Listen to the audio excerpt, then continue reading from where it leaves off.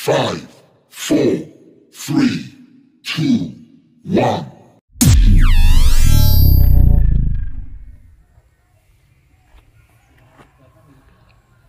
Oke Sobat Bonsai Masih di Sri Sawahan.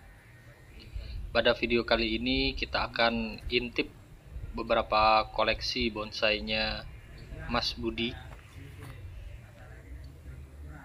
Ini ada beberapa sancang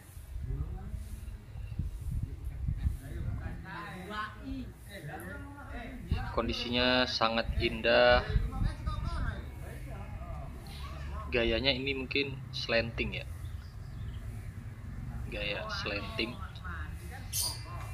Namun ini masih dalam proses uh, pemrograman. Masih ada beberapa dahan yang di loss tapi ini udah sangat cantik cantik sekali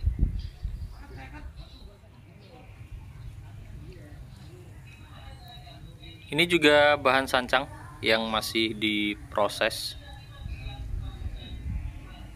Yang pastinya masih memerlukan proses yang sangat panjang untuk uh, menjadi sebuah bonsai sancang yang sangat cantik. Tapi dari gerak dasar batangnya ya kita sudah bisa melihat bahwa bonsai ini nantinya akan menjadi bonsai yang sangat istimewa.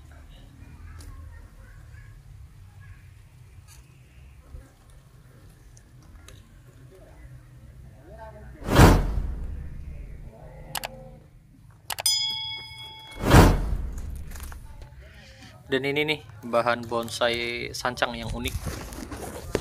Expose root. Mantap. Nah ini dia nih sobat. Di sebelah sini ada beberapa koleksi bonsai asoka. Kondisinya sangat istimewa semua ya. Tapi sayangnya kita tidak bisa memvideokannya dari jarak dekat dari muka karena ini di pinggir kolam. Kecuali ya saya nyemplung nih. Nih saya nyemplung sini nih baru bisa nih. Tapi nanti kita videokan saja ya dari belakang. Tampak belakang saja nanti bisa. Sebenarnya di sini masih banyak sekali ya koleksi bonsai Mas Budi. Masih banyak jenis-jenis uh, koleksi bonsai Mas Budi yang lain. Cuman uh, tidak bisa saya shoot satu persatu karena memang tempatnya sangat luas dan koleksinya juga banyak. Dan ini tampak belakang beberapa koleksi bonsai Asoka tapi kurang tahu ini uh, Asoka kuning atau merah. Tapi yang jelas penampilannya sangat istimewa sekali.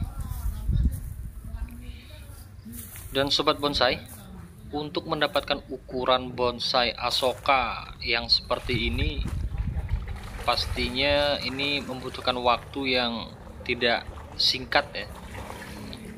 Karena memang pertumbuhan dari pohon asoka ini sangat lambat jadi untuk memperoleh ukuran dengan besar yang seperti ini ini sudah pasti melewati waktu 10 tahun mungkin 15 eh, tahun ke atas baru kita bisa mendapatkan ukuran pohon asoka sebesar ini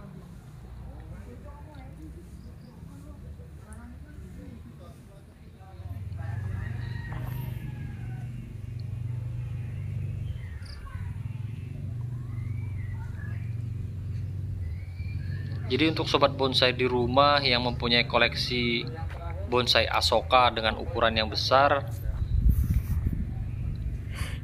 sobat bonsai sangat beruntung sekali ya karena sekarang memang untuk pohon Asoka sendiri ini sudah mulai langka karena sudah mulai banyak diburu oleh eh, teman-teman uh, pebonsai.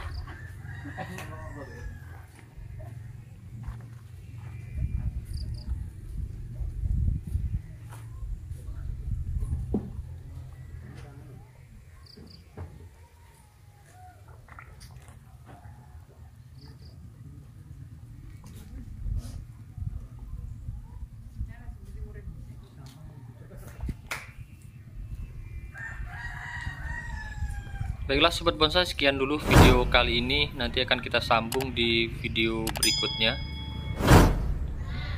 Dan untuk sobat bonsai, jangan lupa dukung channel ini dengan cara subscribe dan tekan tombol lonceng agar sobat bonsai di rumah tidak ketinggalan update video terbaru dari channel Jalan-Jalan Bonsai.